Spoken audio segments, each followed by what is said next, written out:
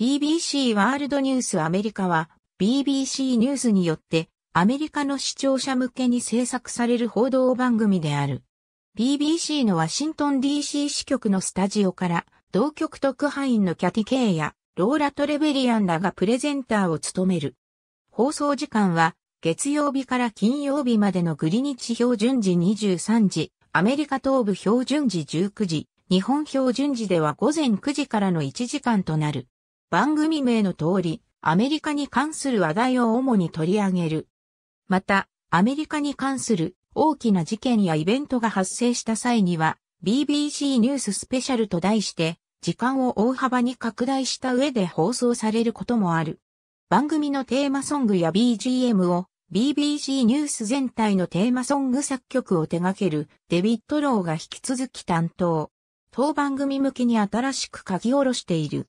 北米、日本を含む全世界向けに BBC ワールドニュース、イギリス国内では BBC ニュースチャンネルで視聴可能。アメリカ国内では PBS 系列局等でも視聴できる。日本では D ライフでも視聴可であった。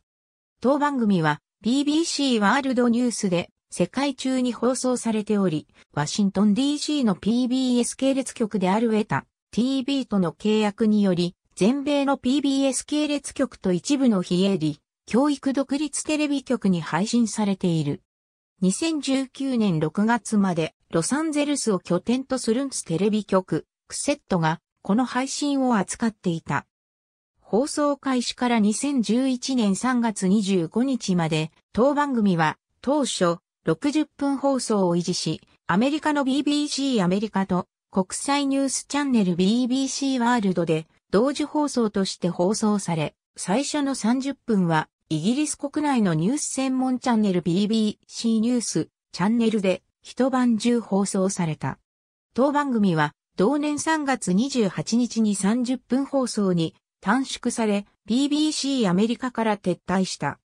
2016年10月31日、5年間の休止を経て、BBC ニュースチャンネルでの放送を再開し、現在はイギリスとアメリカで標準時が変わる間の11月の1週間と3月の1週間、21時30分に同チャンネルで放送されている。2018年6月11日から同年7月26日まで、月木曜日まで、同番組は世界中の視聴者向けに最初の30分版を一時的に放送した。その後、同年8月から通常の1時間に戻された。場合によっては、当番組はニュース速報の放送が原因で、その時間の放送がいくつかのスニペットに中断されている。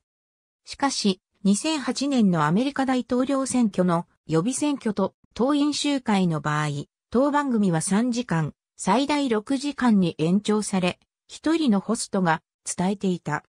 BBC ワールドニュースアメリカは、また、3つの大統領選挙討論会と唯一の2008年、アメリカ合衆国副大統領選挙討論会を取り上げた。現在、キャティ・ケイがメインプレゼンターを務めている。ローラ・トレベリアンも定期的に当番組を担当している。2010年に当番組とドキュメンタリー、Where Giving Life is A デスセンテンスが第69回ピーボディ賞を受賞したサイのトニー・ジョリフ、メラニー・マーシャル、ライス・ドーセット、ショアイブ・シャリフィ。BBC ワールドニュースアメリカはいくつかのピーボディ賞を受賞している。2007年には白馬村で受賞した。2010年 BBC ワールドニュースアメリカは2度目のピーボディ賞を受賞した。この番組にはユニークな放送、ユニークな視点と呼ばれる賞が一つ与えられ、米国がこれまでになかったような毎晩のニュース放送であり、私たちの行動と懸念をグローバルな文脈に置いていると説明された。2番目の受賞は、ドキュメンタリー、Where Giving Life is A デスセンテンスだった。この番組は、インサイドシリア、SO で、シリア紛争の恐ろしさを世界に間近で見るために、必要な資源を捧げ、命を危険にさらしたことで、2014年に別のピーボデ賞を受賞した。ありがとうございます。